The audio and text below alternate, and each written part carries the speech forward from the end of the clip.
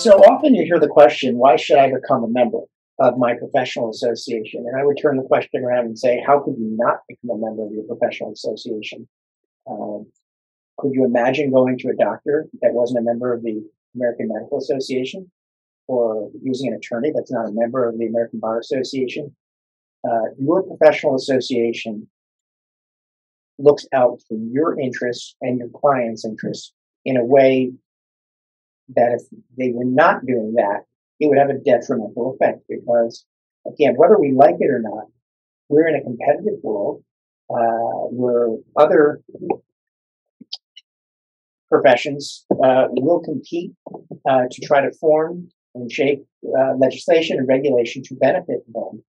Uh, there are times when legislators and regulators don't fully understand what we do, and that's understandable. They don't do what we do.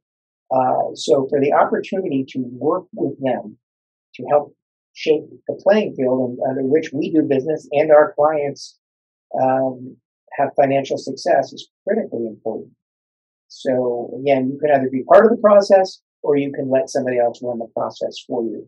So to me, it's not a question of why you would join. It's how could you not be part of such an organization?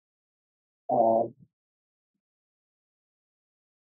those who are in our profession who are not part of the organization are really letting other people do their work for them. And together we are much stronger when we pool our resources, pool our voices. So um, those are fundamental reasons why I think it's it's really, to, in my perspective, obligatory for someone to be part of their professional association.